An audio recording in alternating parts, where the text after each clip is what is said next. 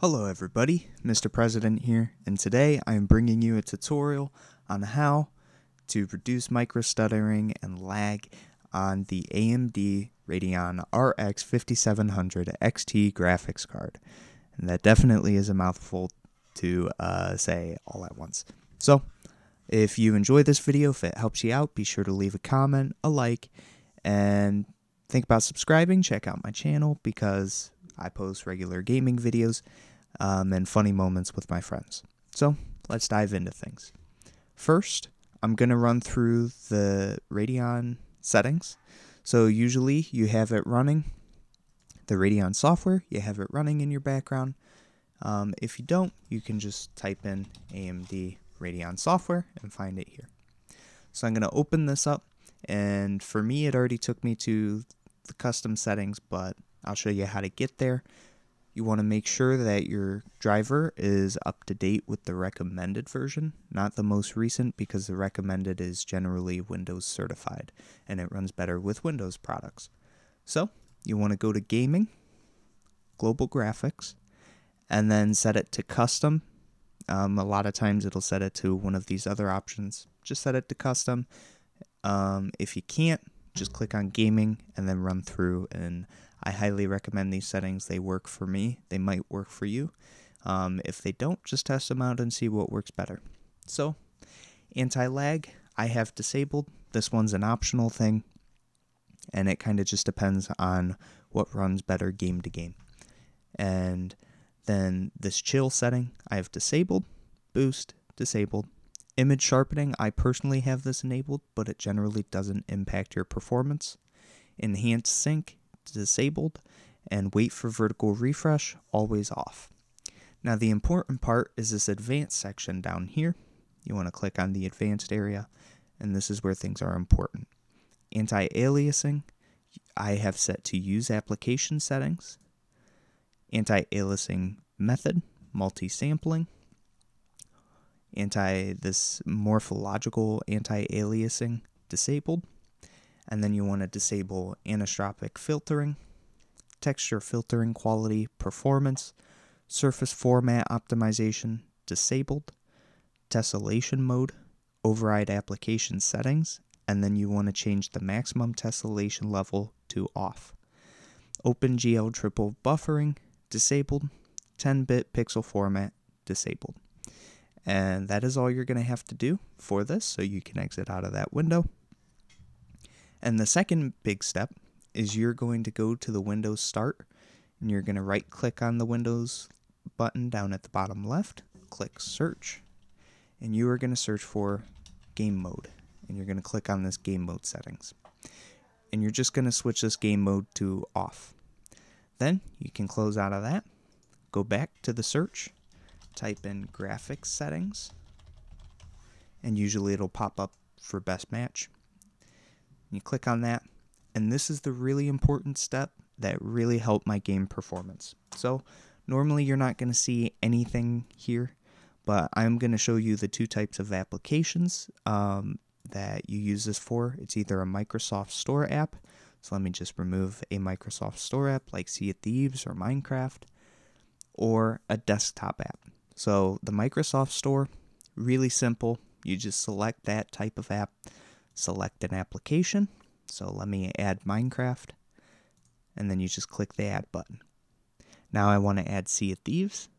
So I look for Sea of Thieves in this scroll wheel and I click add. Now if you notice these two applications say let Windows decide. And you're going to decide how your computer uh, runs the graphics card. It's either going to be battery saving or power saving or performance mode. Generally, this what let Windows decide chooses the power saving, which is not what we want and causes more micro stuttering. So you're going to want to click on the options. Um, so options, and then change all of these applications to high performance. And this greatly helped me with the micro stuttering. And then let me just remove Raft and I'll show you how to add a different type of application because it can be a little bit more tricky. So let me go and open Raft.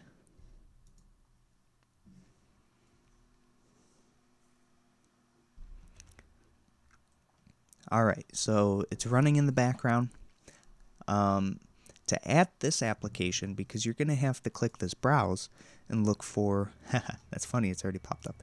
And you're going to have to look for the application itself, the .exe file. But that can be really tough because it's a Steam game and you have to search through your whole computer to find it, and that's just nearly impossible.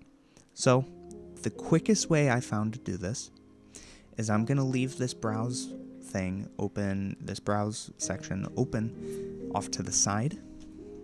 I'm going to right click on the Windows Start button and click Task Manager. Now I have all my tasks open. If you don't see it like I see it, how all these background tasks, you can click the More Details button. And this will help you see the tasks. You're going to right click on the task or the game, and you're going to click Open File Location. And it's going to pop up with another menu, uh, another folder that gives you where the game is. It sends it right to where your, your computer's running it. And you're going to select this, just highlight all of this up here, and you're going to copy and paste it into this other folder menu on the other side where you're browsing. And pasting that, hitting enter, takes you right to the game. Then you're going to select Raft and add it. And again, you have to let Windows decide, and you just want to change that to high performance. Sometimes the game, uh, when you click, when you right click it, it says open file location, or it says it, but it's grayed out. Sometimes you have to click under there, and the option Usually it means there's another application running under the name Raft or whatever game it is. And you just need to select the game and then click on that open file location. Um, and that is really it. That really helped me in doing all of this. So I do it with all of my games that I have downloaded. Here, I'll close out a Raft. I do that with all of my games I have downloaded, and it's greatly helped me in how they run in Borderlands 3 was running horribly, uh, almost unplayable, but it said I was getting like 90 frames on high graphics, but it looked nothing like 90. It looked like it was under 30. This really helped me with micro stuttering, with fixing that, because now my computer is saying to put this on high performance mode. There is one last thing now that I think about it. I'm going to open that Radeon software and I'm going to go over to the performance tab and here's the GPU here and I'm going to click tuning and this is on automatic and I'm actually going to switch it to manual. And the reason I'm going to do this is because I'm going to mess with the fan tuning. My computer originally had it set to this.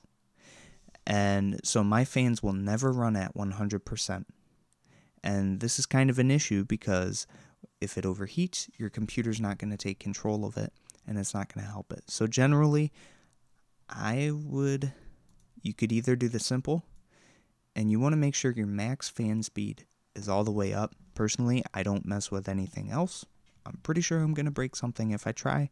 I just want to mess with this fan tuning. Make it so my max fan speed is up and I'm going to hit apply changes. If you want to control more make this a smoother curve so that your GPU kind of cools down a little bit better.